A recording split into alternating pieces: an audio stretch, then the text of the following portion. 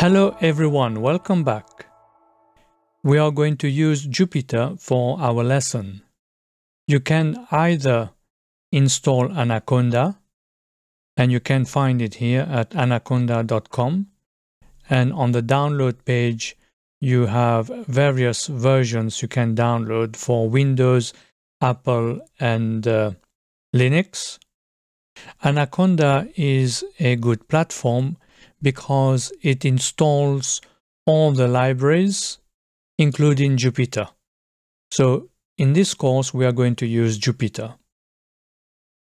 As an alternative, you can install VS Code. There's a version for Windows, a version for Linux, as well as a version for Apple. Once you've installed Visual Studio Code, you can install Jupyter as a plugin.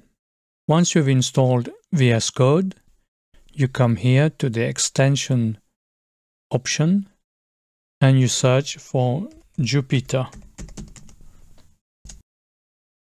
You will have various options. You install Jupyter Notebook. Here I have already installed it. That is why there's a blue tick. You will also need to install Python. So go to the website python.org and here you click on downloads. You will have all the releases for your particular version. Let us look at what we need to use the Assistant API. As prerequisite for this course, you will need to install Python. You can also install Python through Anaconda. And of course, you will need to have an OpenAI account with a payment method. For our lessons, we are going to use Jupyter Notebook. Jupyter Notebook is included in the Anaconda download. If you decide to use VS Code, you can install a Jupyter Notebook plugin, which is available on the VS Code marketplace. You will also need to install or upgrade the Python Open AI API library using the pip command. Of course, as I mentioned earlier, you'll need to have an OpenAI account with some payment method.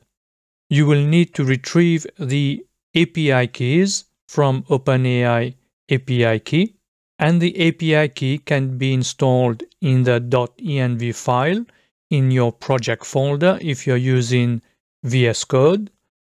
If you're using Windows, you can store it in your environment variables. And for Mac, you can store the API key in the profile file .bash underscore profile or for newer, newer versions of Mac, the .zshrc file. For Windows, these are the steps you need to follow. You go to the properties of my computer, you look at the advanced settings, you click on the environment variables, you create a system variable called OpenAI API key, and you store your API key in that variable. For Mac, you can edit the bash underscore profile file or the .zshrc file for newer versions of Mac. You store the API key in these files and you are ready to go. I will upload these instructions and attach it to the lessons.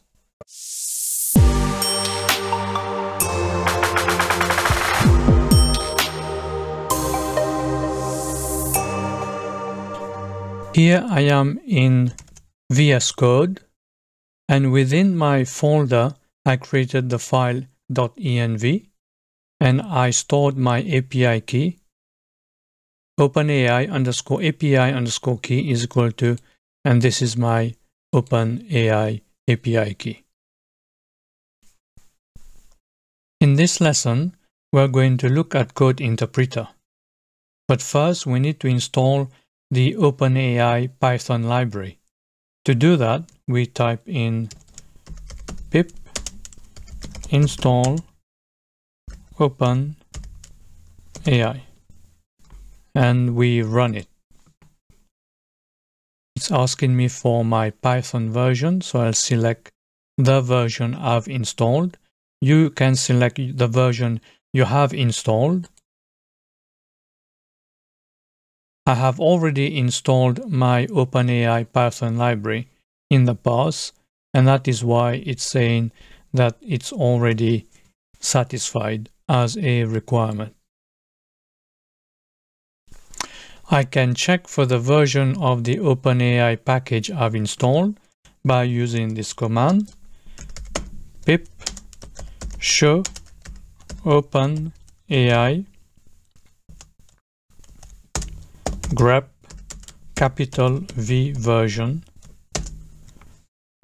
and I have installed 1.70. Next, we need to create a connection, a client connection to OpenAI. We we have imported the library, installed the library, so we'll import the library. Then we create a client and we run it.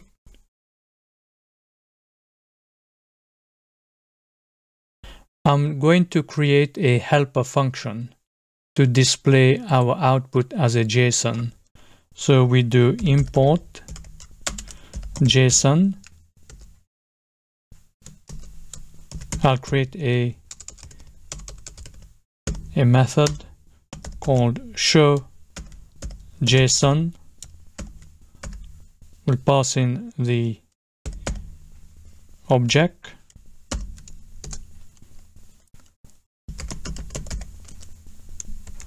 Display json dot loads. The object dot model underscore dump underscore json there you go. And run it. Okay. So this is what is going to happen. We are going to create an assistant. We are going to create a thread. Then we are going to create our messages and assign it to the thread and run the assistant with the thread that we created, and the assistant will process the message and respond with a message. So that is essentially what we are going to do in this lesson. So next we create our assistant. Assistant is equal to client, which we defined. assistants dot create to create the assistant and we'll give it a name as we did in the playground I'll say al bra 2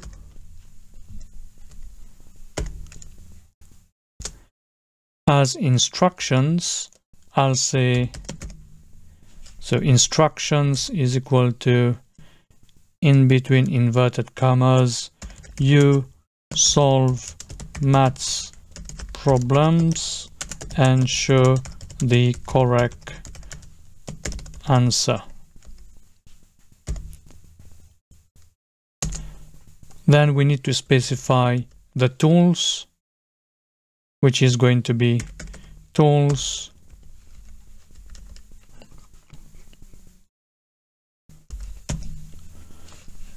is equal to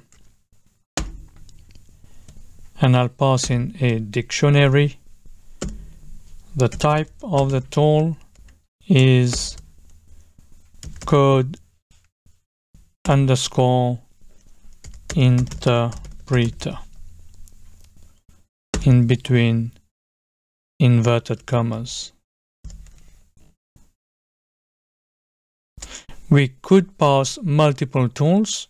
So we could say code interpreter and also, let's say, knowledge retrieval or retrieval. In this case, we are using only one tool called the code interpreter. Then finally, we need to mention the model that we are going to use. In this case, I'm going to say GPT dash 4 dash 1106 dash preview.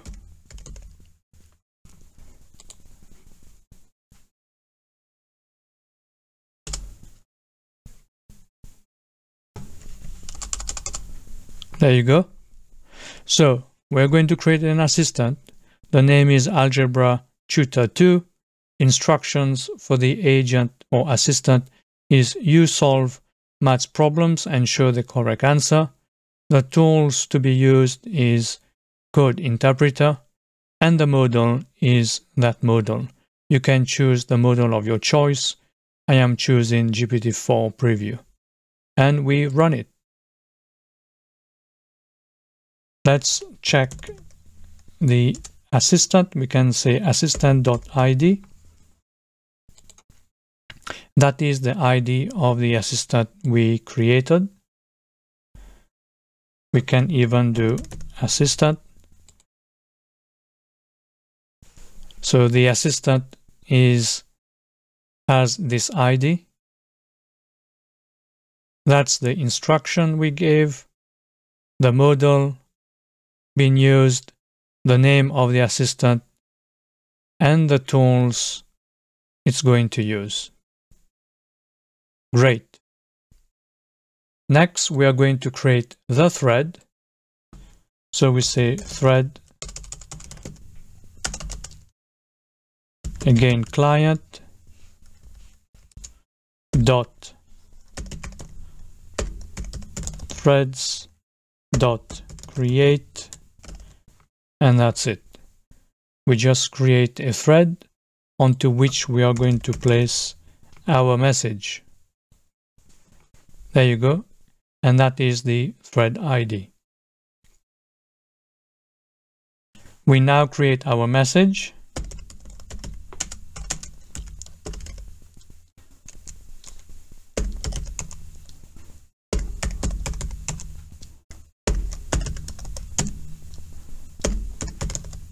Dot create we pass the thread id so the thread ID will be the object thread dot ID.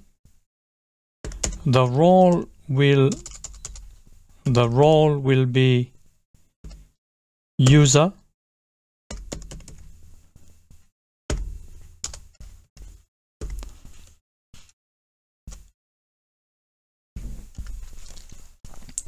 and the content of our message will be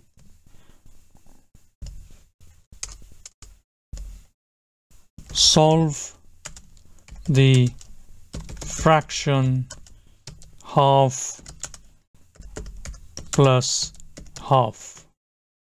Let's run it. So that's our message. We'll check the message. There you go. We have the message that's the message ID.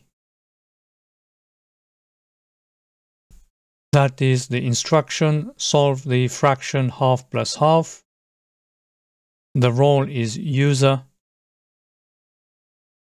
And the thread ID is that one here.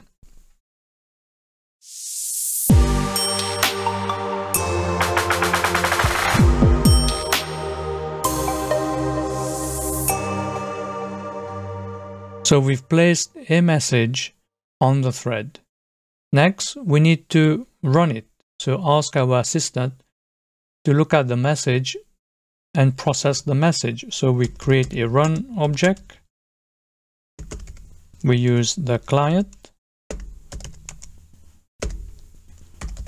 We run against the thread.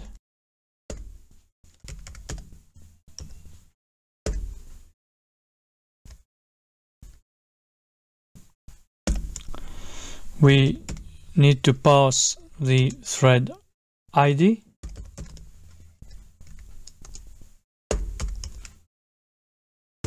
and the assistant ID. assistant.id and we run it. We can pull out we can pull out the ID of the run, that is the ID of the run.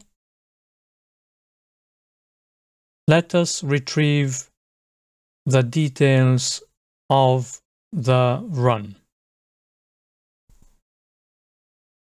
So we can say runs is equal to uh, run is equal to client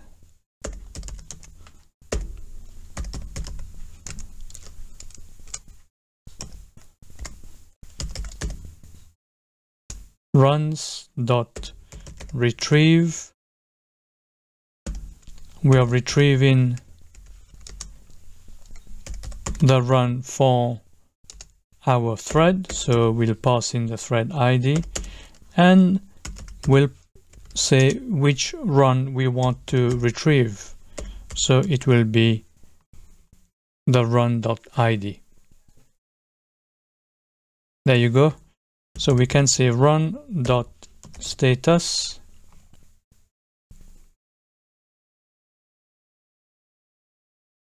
it's been completed. We can create a helper function. So every time we can run the helper function and check whether the run is queued in progress and as long as it is queued in progress keep polling till the run is completed. Let's do that. So we'll need to import time, create a function, wait, and I'll pass in the run and the thread. I'll say while run status is either queued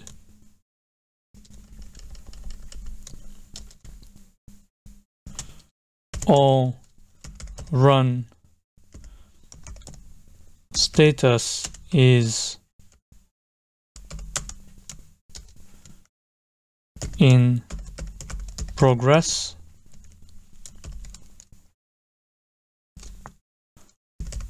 check.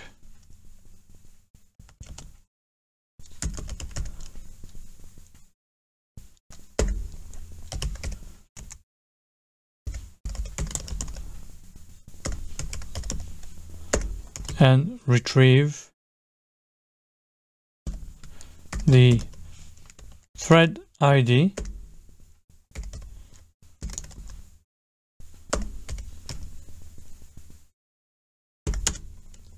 and based on the run ID where run ID is run dot ID.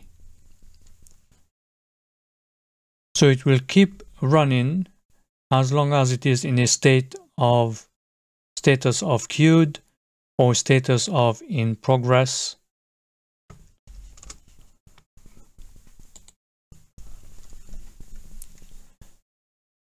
We'll say sleep sleep for two seconds.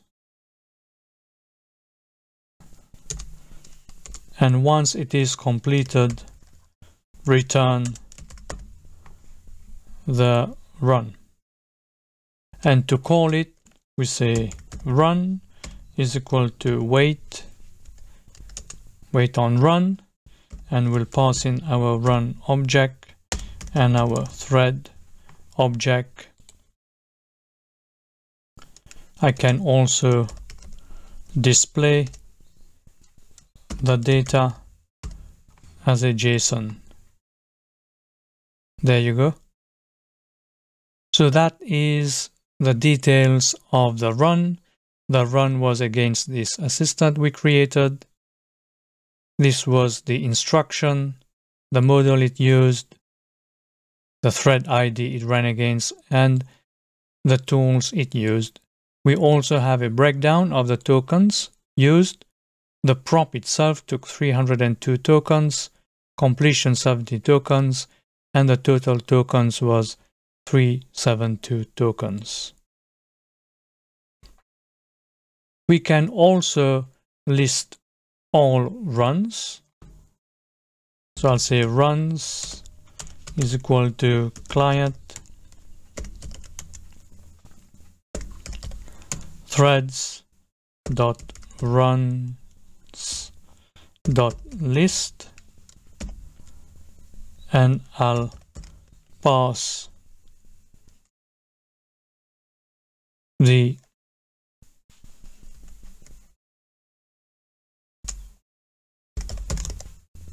thread ID and I'll display it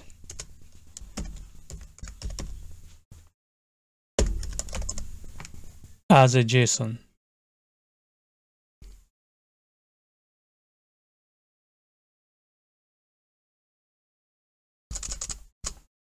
Runs. Ah. So it should be runs. So if I have more than one run, it's going to display all the runs. I can also retrieve the step or steps within the run. I'll say run underscore steps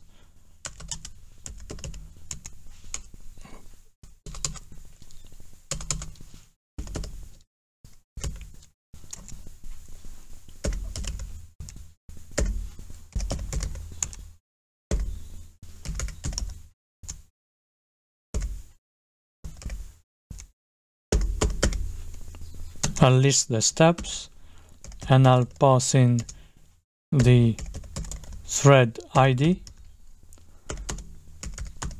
and the run ID.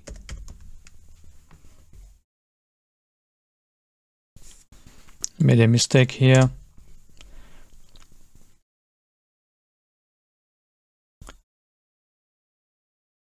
I can show the steps using our helper helper uh, function.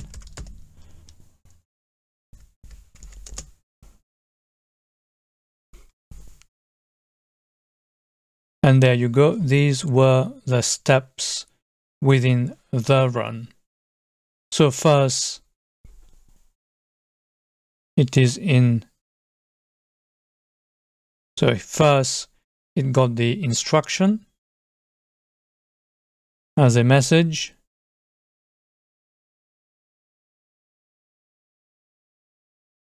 Then it processed the message and created a response. So the order is in reverse. The first message was is at the bottom and the latest message is at the top. We can extract that JSON I'll say for step in run underscore steps. Print. Show JSON. Step dot step details. There you go. This is a bit clearer. So this is the first message we sent and this is the second message.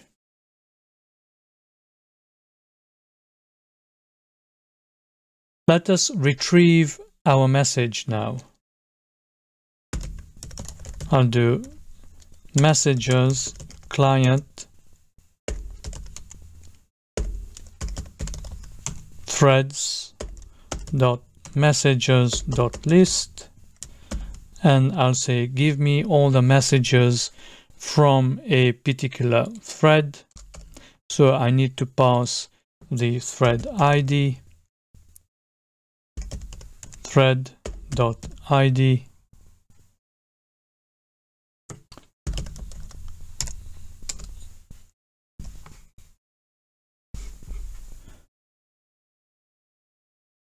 So that is the message.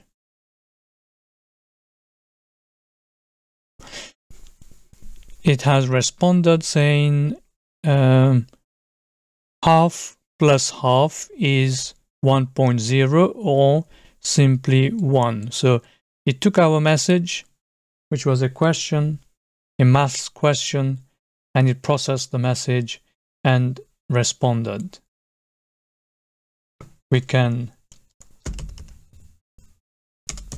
get the data. So here it is SyncCursorPage will extract the data.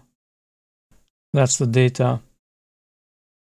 We can go one level down and extract the content by doing messages dot data 0 dot content so we are going to here we'll pull the content out.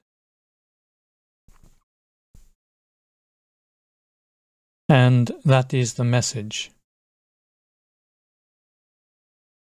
We can also retrieve the value. To do that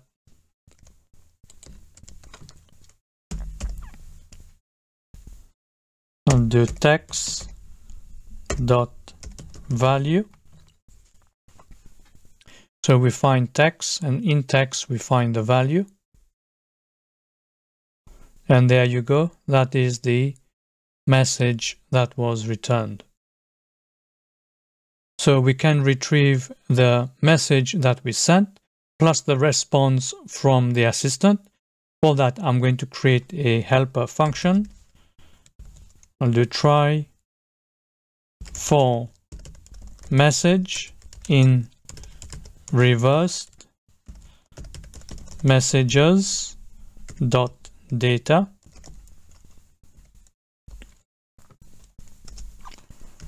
print message dot role so I want to see the role. And I'll concatenate with message and the content.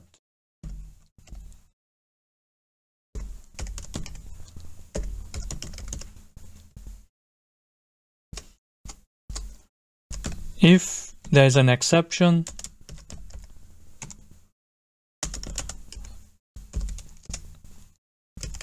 I'll print the error. There you go.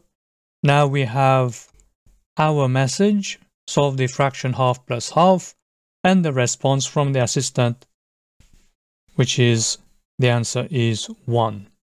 Let us create another message. So I'm going to use the same thread for that. Message is equal to client dot threads dot messages dot create. So we're creating the message on the same thread. So we pass the thread id the role as usual it's going to be user. We are the user. And the content of the message will be solve the simultaneous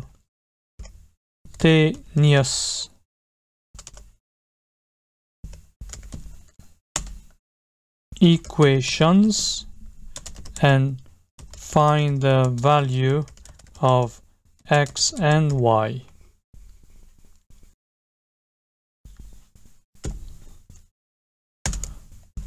First equation is 2x plus 4y is equal to 14 and the second equation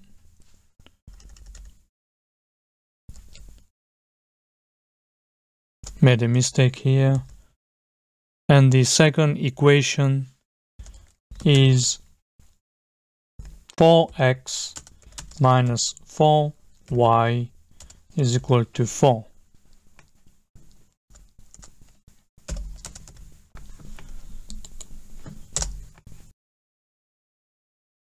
Okay,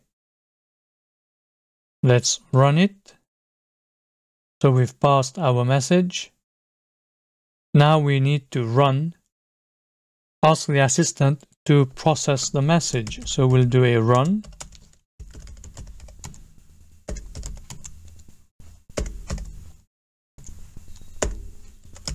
Runs, create. So we'll run against the thread ID and we'll specify our assistant by using the assistant ID. And we run it. I'll copy the helper function. Here I'll call the helper function.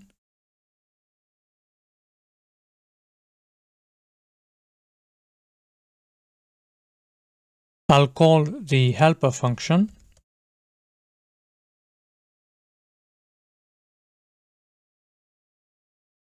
So our run has completed. The status is completed. And that is the to total token it's used. So let's pull the response from the assistant. So we'll do messages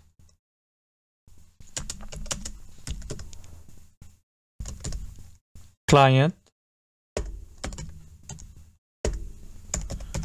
threads dot messages dot list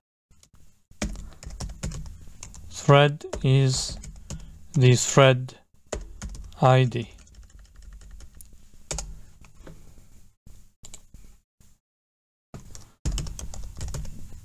I'll print the contents of the messages here we can see the contents of our messages object. So first we did the fraction, next we did this solve solving of our equation, and here is the response. The answer is x is equal to 3 and y is equal to 2. We can use the helper function we created before I just copied and pasted here. So this was our first message and response from the assistant, our second message, and the response from the assistant where it calculated the value of x and the value of y. Let's pass another message. So this time we are going to create a graph of the equations.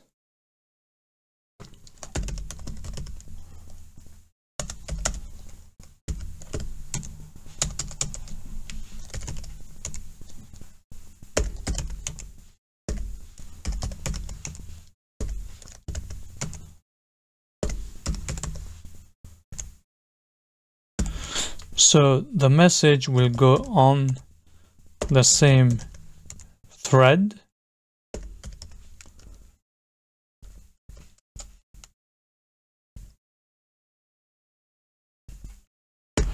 the role will be user and the content of the message will be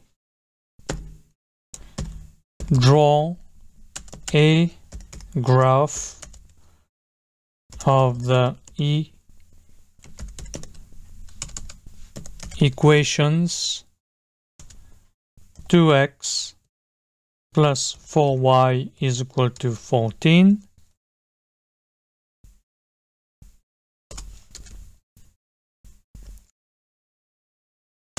and 4x minus 4y is equal to 4.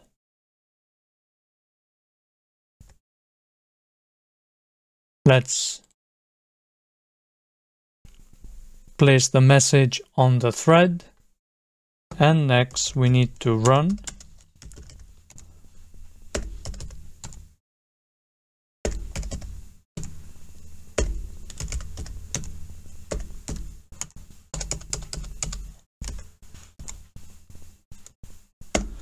So we do a run against the thread by passing the thread ID and passing the assistant.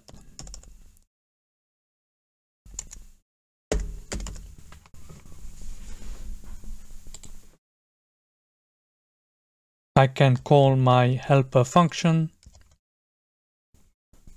to check whether it is still in progress or queued and will wait till it is completed. It has completed after 38 seconds. So let's find the messages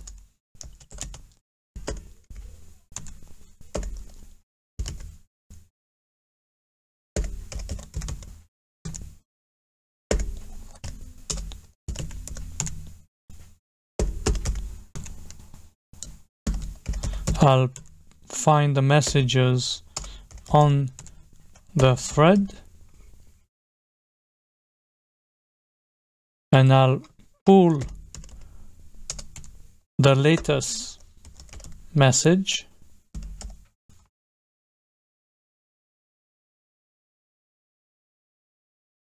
That is the latest message. Looks like there's a file. It's created because we said draw a graph. I will do dot content.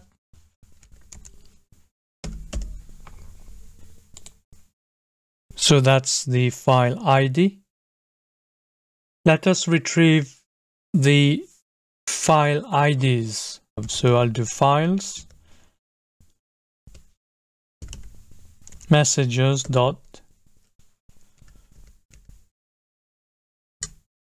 data I'll do 0 dot content 0 dot image file dot the file ID. So I've pulled the file ID and I'm going to use it to pull the image.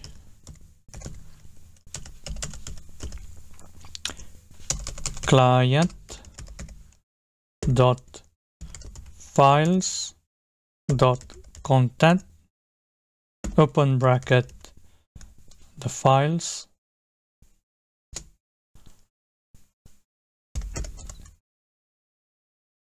image data underscore bytes, for example, as the object underscore data underscore read. And I'll do with open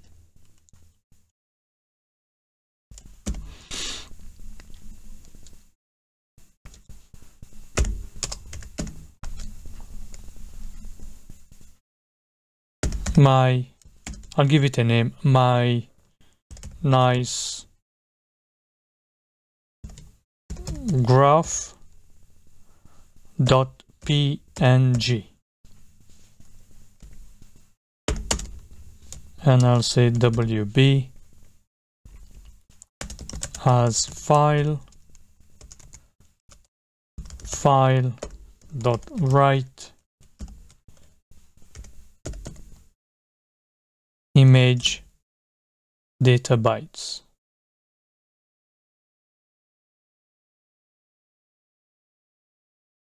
Running these commands should have pulled the files to your hard disk.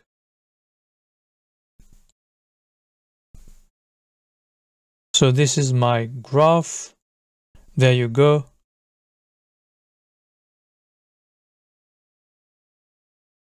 That's the graph. 2x plus 4y is equal to 14 and 4x minus 4y is equal to 4 and it has also put the intersection. So this graph here is 2x plus 4y is equal to 14 and this graph here is 4x minus y is equal to 4. We can also list all the assistants. We just do my underscore assistants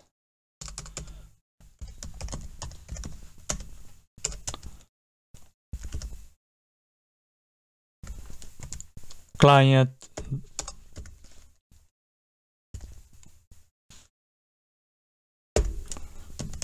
assistants dot list. So we are listing all the assistant. We can order in descending order. And we can put a limit. Let's say 20 and then I'll use my helper function my assistants so how many assistants do we have here I have I happen to have two assistants one is in an assistant which I created some time back and this is our new assistant which I created just now Algebra Tutor 2. So that's how we can retrieve all our assistants.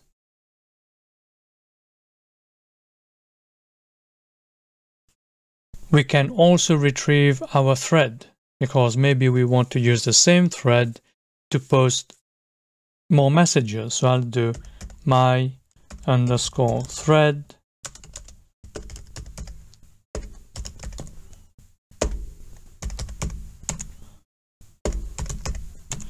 retrieve and we'll pass in the thread ID.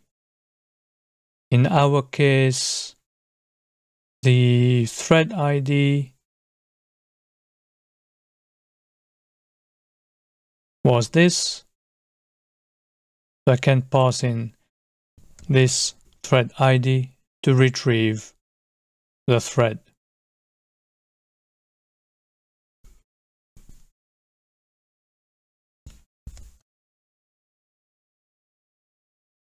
There you go. And once I've finished with my assistants or my threads, I can also delete them. To delete them, I'll say, for example, response client dot dot delete and I'll pass in my assistant ID. There you go, I've deleted my assistant and I can also delete my thread. Bear in mind, deleting the thread will also delete all the messages on, on the thread.